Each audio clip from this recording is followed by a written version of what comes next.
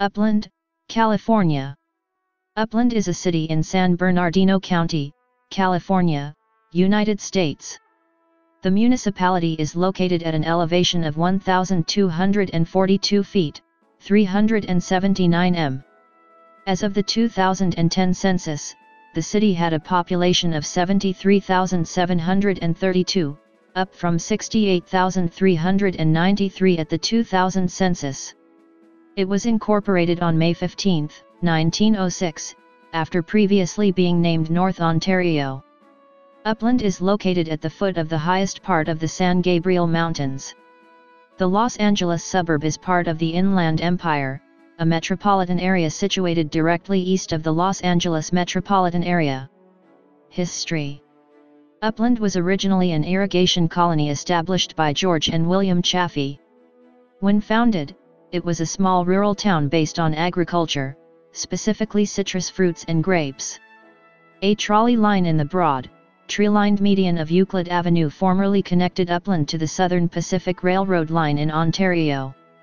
The trolley was pulled from Ontario to Upland by a mule, which then climbed aboard an attached trailer for the ride back down. Present-day Upland maintains many of the same features, most specifically Euclid Avenue, the north-south, tree-lined street that runs through town, as well as many of the older, adobe and ranch-style houses. Early History Upland is located at the foot of the San Gabriel Mountains on an east-west trail that was used by the Native Americans and Spanish missionaries, part of what is now known as the Old Spanish Trail. To the west, the trail led to the San Gabriel Mission, which Spanish missionaries built in 1771. In 1774, Spanish explorer Juan Bautista de Anza established an overland route from Arizona to California, with part of the trail passing through present-day Upland on the way to the San Gabriel Mission. Anza's route went through Yuma, the San Gorgonio Pass and through the San Bernardino Valley. In 1775, Anza led a second expedition consisting of more than 240 people on a journey of over 2,000 miles to the San Francisco Bay. En route, the expedition reached the San Gabriel Mission on January 4, 1776. The expedition reached the San Francisco Bay on June 27, 1776, where Anza founded the present-day city of San Francisco. Five years later, in 1781, Spanish settlers followed Anza's route to found the city of Los Angeles a few miles west of the San Gabriel Mission. Following the Anza expedition, the San Gabriel Mission became an important stopping place for expeditions traveling between Arizona and California. The mission was the first place where supplies could be procured after crossing the desert, and as travel over this road increased, the mission arranged to establish a supply station at some intermediate point east. In 1810, a party of missionaries, soldiers, and Native Americans from San Gabriel Mission, under the leadership of Padre Dumetz, were sent out to select a location. On the 20th of May, 1810, they came into the San Bernardino Valley. This, according to the Roman Catholic calendar of saints, was the feast day of Saint Bernardino of Siena, and they named the valley in his honor. The expedition named the area around upland Cucamonga, which in the Tongvan language meant sand place. Jedediah Smith of the Rocky Mountain Fur Company was the first American to enter California overland. He started from the Yellowstone River, August, 1826, with a party of 15 men. Their course was down the Colorado River to the Mojave, where they found two Native Americans, who guided them across the desert to San Gabriel Mission. Smith pioneered the route over the Cajon Pass, where he then joined the foothill route established by Anza, arriving at San Gabriel on November 27. California was part of Mexico at the time, so Smith was briefly arrested by the Mexican governor before being released. In 1829, Mexican explorer Antonio Armijo led the first successful caravan from Santa Fe to Southern California, joining up with Smith's route to open what would later be called the Old Spanish Trail. The route resulted in immediate commerce between Santa Fe and Los Angeles. Pack trains made annual treks between New Mexico and California, bringing woven Mexican products to California, which lacked sheep, and bartering them for horses and mules, scarce in New Mexico. The trail carried mule trains over the Cajon Pass, then west through Rancho Cucamonga, Upland, and El Monte, to the region's major settlements at Mission San Gabriel and Los Angeles. From the time of the Anza expedition until the Mexican Rancho period, the land around Upland was used as grazing land by the San Gabriel Mission. Under mission rule, cattle ranching became a major industry. The rangy cattle thrived and bred rapidly in the benign climate, and thousands of cattle wandered across the Cucamonga Rancho. Following the secularization of the missions by the Mexican government, the Cucamonga Rancho was granted to Tiburcio Tapia in 1839. Upon the death of Tapia in 1845, the rancho passed to his daughter and her husband, Leon V. Prudhomme. An 1886 report by the California Surveyor General listed the size of the Cucamonga Rancho as 13,045 acres. Founding of Upland California became part of the United States at the end of the Mexican-American War in 1846, and American settlers began to arrive in California in large numbers with the California Gold Rush of 1849. The Cucamonga Rancho changed hands several times, but the area that present-day Upland occupies was little more than an uninhabited ranchland and a place to pass through until the arrival of George Chaffee in 1882. Chaffee, a Canadian shipbuilder from the province of Ontario, had already established the Etiwanda irrigation community in 1881, irrigating the land with a series of flumes carried water from the mountains to a reservoir from which water would then be sent to the relative land sites. In 1882, Chaffee purchased 6,216 acres of land in the Cucamonga Rancho, along with significant water rights from San Antonio Creek. For $60,000 additional purchases brought the size of the land to over 8,000 acres of land for a total purchase price of $90,000. Chaffee's master plan called for distributing the water over the whole tract to each farm lot in cement pipes, with each holder to share in the water proportionately to his holding irrespective of distance from the source. Chaffee also laid out the main thoroughfare which ran from one end of the settlement to the other. He also named the main thoroughfare Euclid in honor of his favorite mathematician. Euclid Avenue was seven miles long, stretching from the colony's southernmost boundaries to the mountains. Euclid was planned as a 200-foot wide double drive. Center Parkway to be flanked by a 65-foot wide drive on each side. Chaffee also planned for electricity in Ontario with street lamps being placed a mile apart on Euclid and an electric streetcar that would travel up and down Euclid daily. Ontario was available for settlement on November 1, 1882. During the first week, Chaffee sold 190 acres for a total value of $28,500. To ensure the success of this irrigation plan and to appeal to potential land buyers, the Chaffee created a mutual water company in which each landowner became a stockholder. The San Antonio Water Company was incorporated on October 25, 1882. The Ontario colony eventually became known for its citrus groves, but in 1882, Orange trees were too scarce and expensive at $100 an acre to turn to citrus, so at first other types of fruit were planted. By 1884, Ontario nursery owner D.A. Shaw reported that there were 40,000 peach trees, 29,000 pear trees, 15,000 seedling apple trees, 16,000 grafted apple trees, 1,000 cherry trees, and 16,000 grape cuttings set out in orchards and vineyards. However, by 1889, some 2,000 acres of citrus orchards had been planted on Ontario, and Ontario was rated as having the second largest citrus acreage in the state. The present-day city of Upland was the originally northern part of Chaffee's Ontario model colony, and was known as North Upland or Magnolia after a local hotel. The name Upland was first used as the name of the Upland Citrus Association.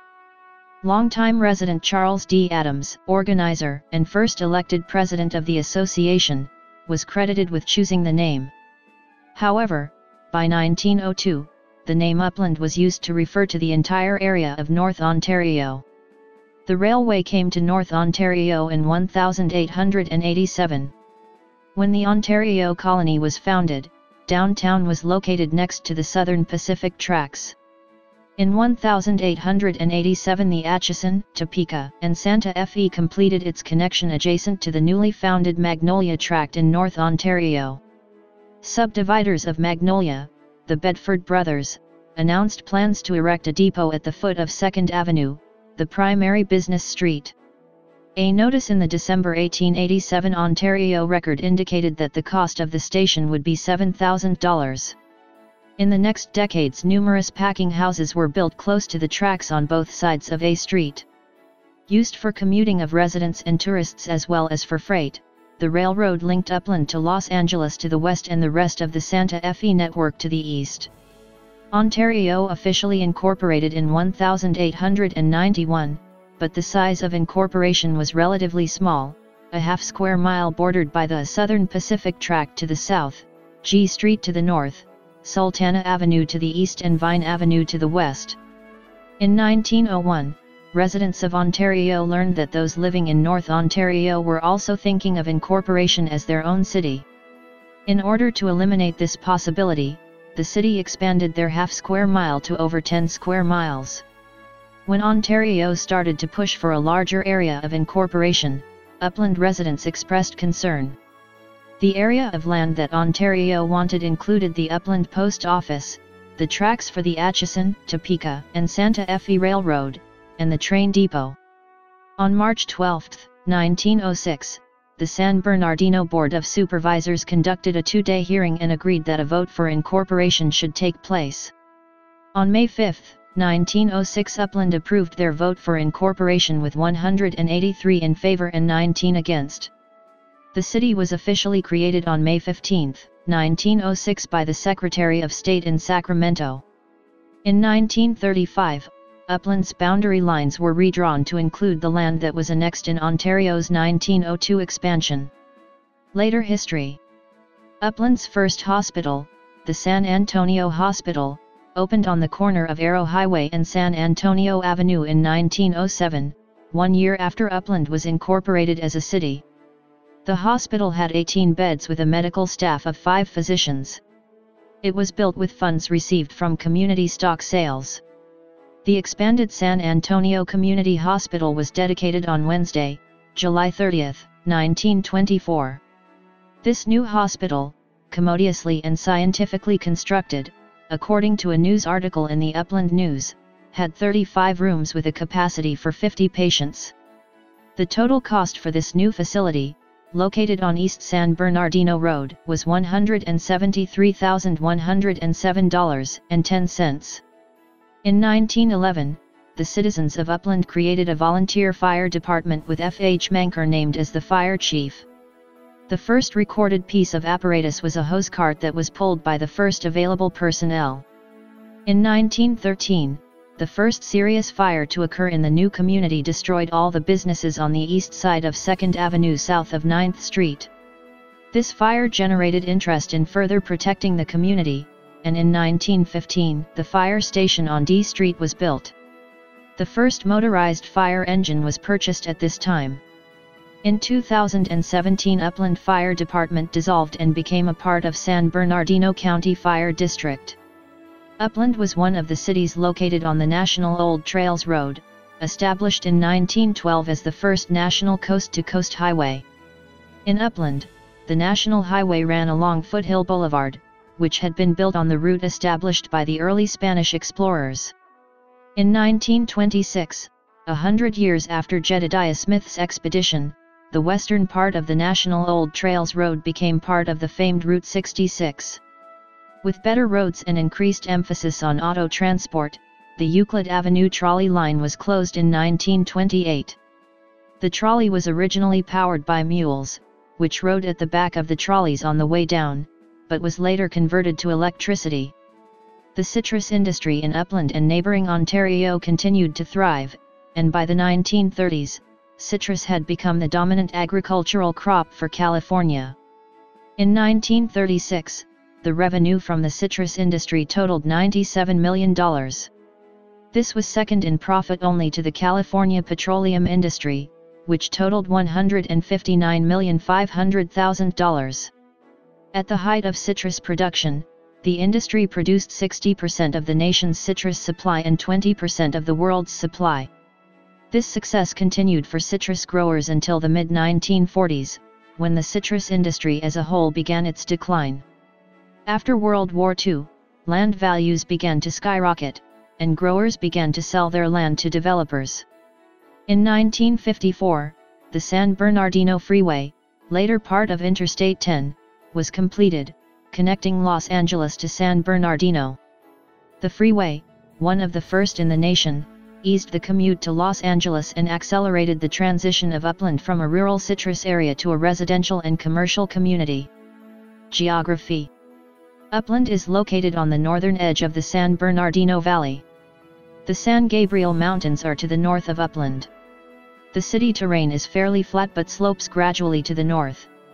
From south to north, the city elevation increases by 825 feet over a distance of 4.25 miles, from 1,175 feet at the intersection of 7th Street and Euclid Avenue, southern city boundary, to an elevation of 2,000 feet at the intersection of 24th Street and Euclid Avenue, northern city boundary.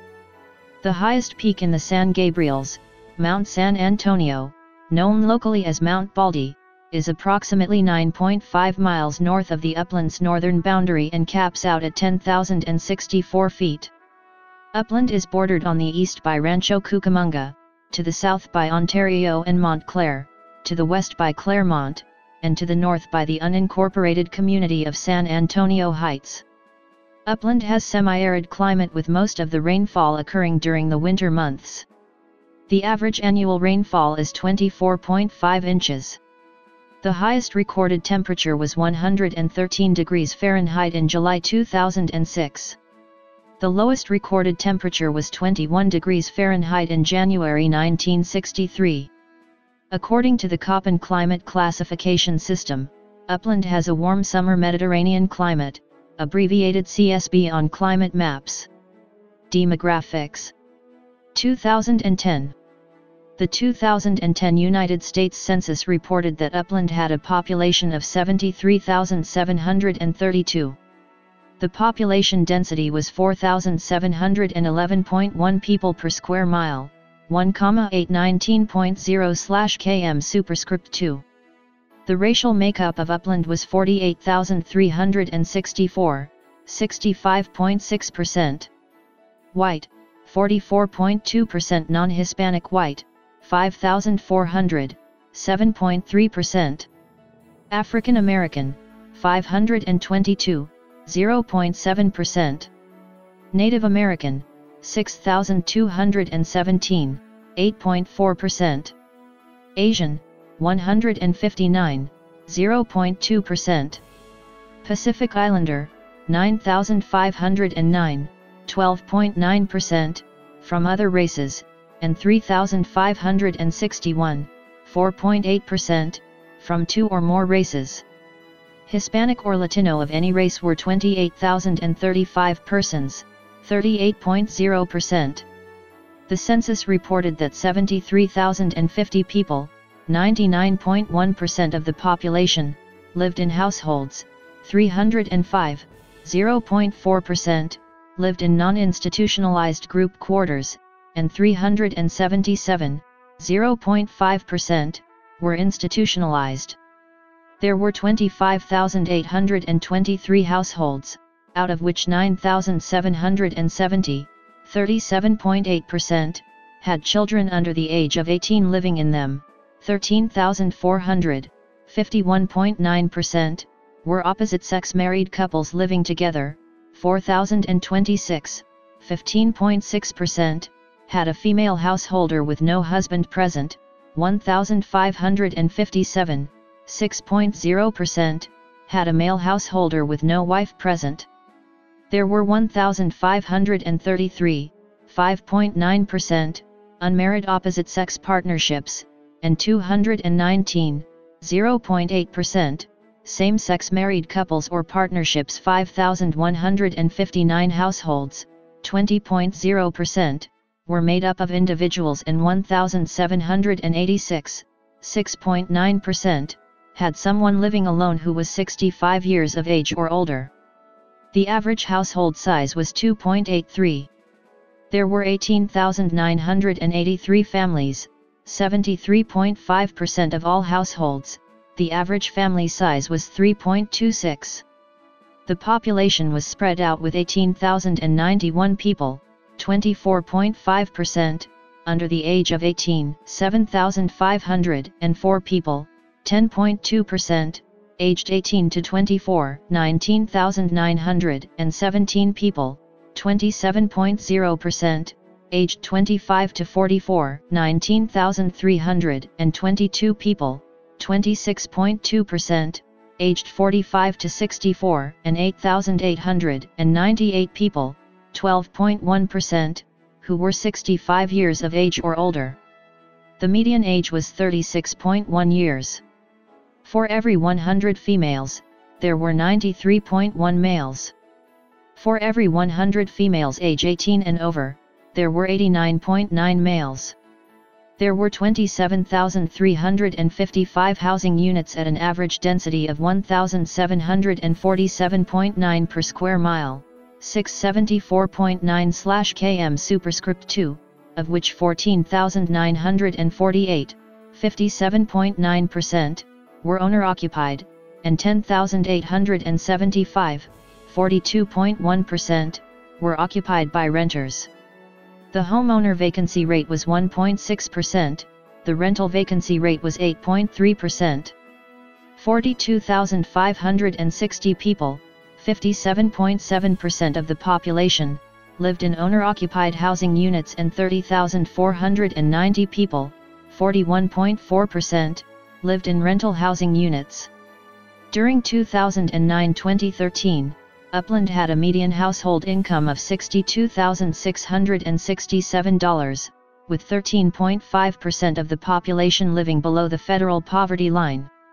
2000 As of the census of 2000, there were 68,393 people, 24,551 households, and 17,873 families residing in the city.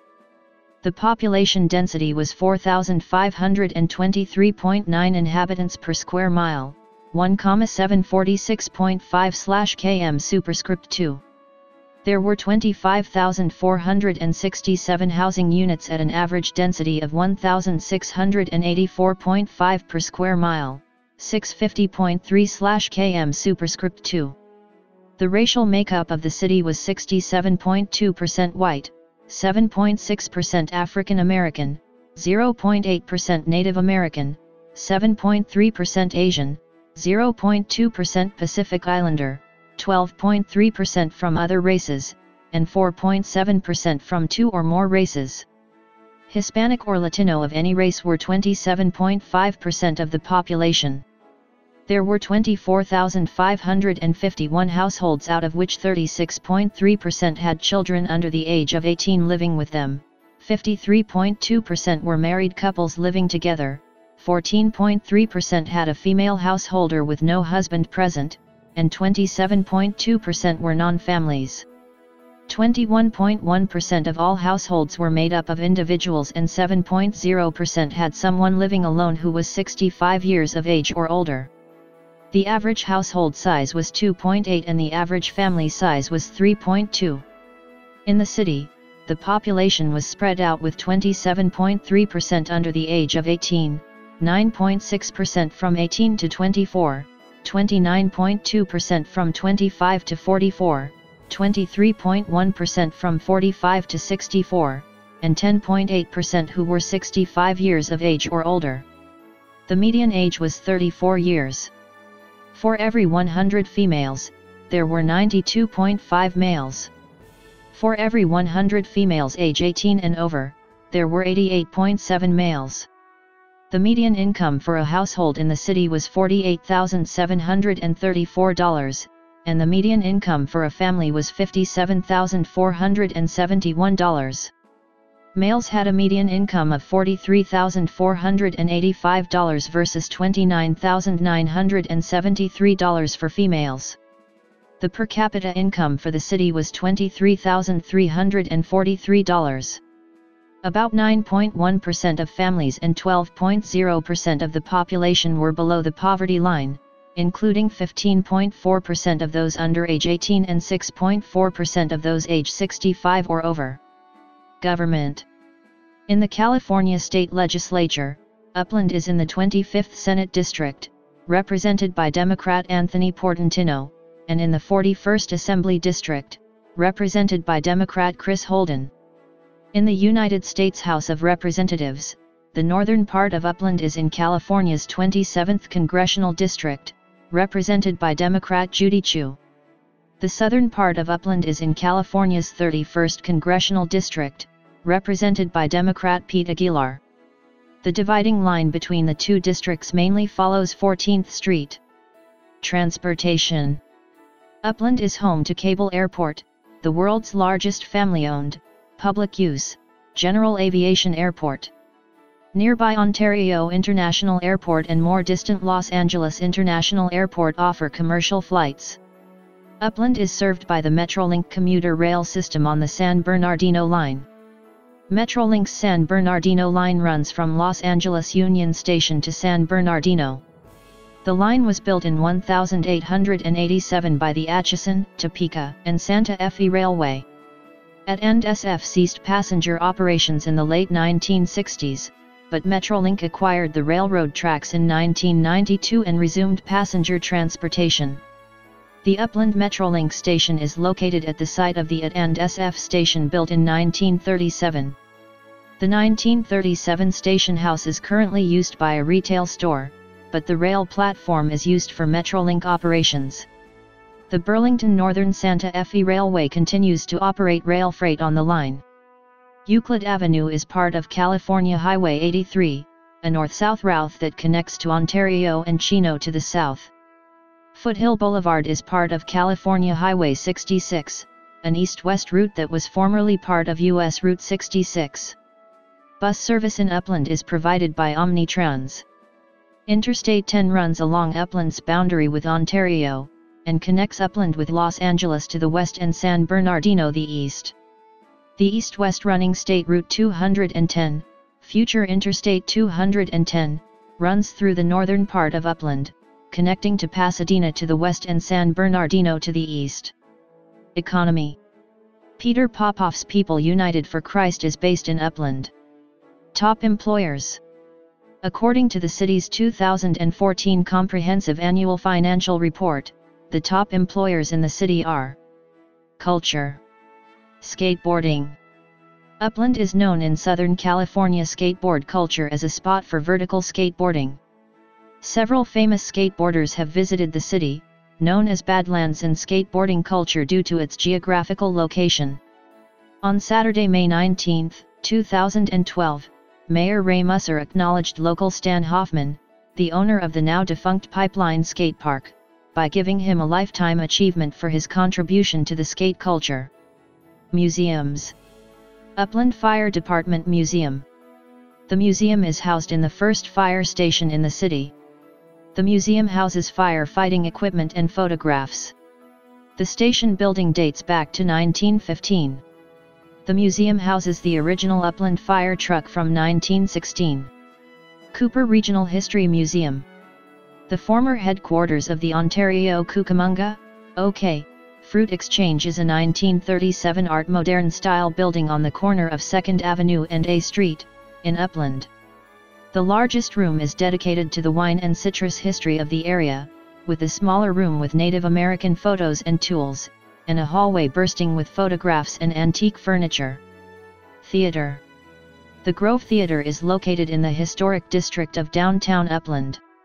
The 831-seat theatre was built in 1947. The Grove Theatre has been operated since 1990 by Sherry Kinison who bought and renovated the theatre. The theatre stages family-oriented plays and operates a school that provides instruction the performing arts. Festivals the Upland Lemon Festival began in 1997 and is celebrated annually in April. The festival celebrates the city's citrus industry and includes the Lemon Idol vocal contest, food competitions, and carnival rides. The festival is held in downtown Upland. In popular culture, Upland is mentioned in the 2008 Keanu Reeves film Street Kings American Samoa the home of LAPD Internal Affairs Captain James Biggs, played by Hugh Laurie. The city is also notable as the location of the TLC TV series Dr. Pimple Popper. The series is a spin-off of the YouTube channel of dermatologist Sandra Lee, who became a major internet celebrity after posting videos of her procedures. The primary location for both the TV series and YouTube videos is Skin Physicians and Surgeons, a clinic operated by Lee and her dermatologist husband Jeffrey Rebish. Points of interest Madonna of the Trail In 1929, the Daughters of the American Revolution placed a Madonna of the Trail statue in Upland at the intersection of Foothill Boulevard and Euclid Avenue. The 12 Madonna of the Trail statues, created by sculptor August Leimbach, mark the route of the National Old Trails Road with the westernmost statue being that in Upland. One of the inscriptions on the base of the Madonna of the Trail statue notes that, in 1826, Jedediah Smith passed through what later became Upland, leading a band of 16 trappers in an expedition that marked the first American entry into California overland. Historic Route 66 While Route 66 was disestablished in 1985, remnants of the classic highway can still be seen today on Foothill Boulevard in Upland, including a classic McDonald's with the original golden arches and the vintage Buffalo Inn, where buffalo burgers have been served since 1929. Euclid Avenue Euclid Avenue was added to the National Register of Historic Places in 2005. The three-mile bridle path runs down the center of Euclid Avenue from Foothill Boulevard to 24th Street. The bridle path is also used for walking and jogging. Historic Downtown Upland The oldest part of Upland is east of Euclid between 8th Street and Arrow Highway, and was originally known as Old Magnolia. Historic Downtown Upland is a group of downtown merchants who work together to promote and enhance the historic business district. Downtown is made up of nearly 200 businesses providing a diversity of merchandise, restaurants, breweries, and services. The Upland Farmers Market is held in downtown Upland every Saturday from April through October. Schools Public Upland is served by the Upland Unified School District. Part of Upland falls within the Chaffey Joint Union High School District, but none of the JUSD schools are located in Upland. Secondary schools, Middle schools, Elementary schools, Private, Notable people, Born in Upland, Other Upland residents, Sister cities. Upland has two sister cities, as designated by Sister Cities International.